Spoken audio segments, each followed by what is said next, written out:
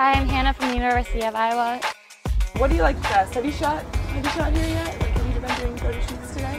Yeah, I just did some shoots. Do you have any uh, prior experience to this? No, I've never done anything. Usually I get so nervous in front of cameras. Like all my friends are like, I can't believe that you're even like wanting to do this because you're always like get shy all the time. Well, you're gorgeous, so you don't have anything to worry about. You yeah. Be nervous or anything. Um, so what's been the coolest experience about it so far, just even today, or Well, I've never been to Vegas, so it's awesome. And I'm from the Midwest, so you never get weather like this, you know, and it's always nice and just not used to this environment. And it's just so fun and relaxing.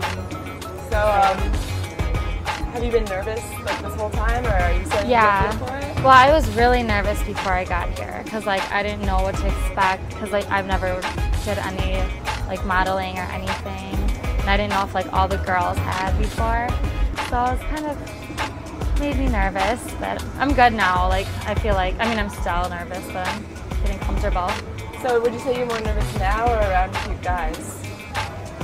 now. you're more nervous. I don't really get nervous around guys anymore.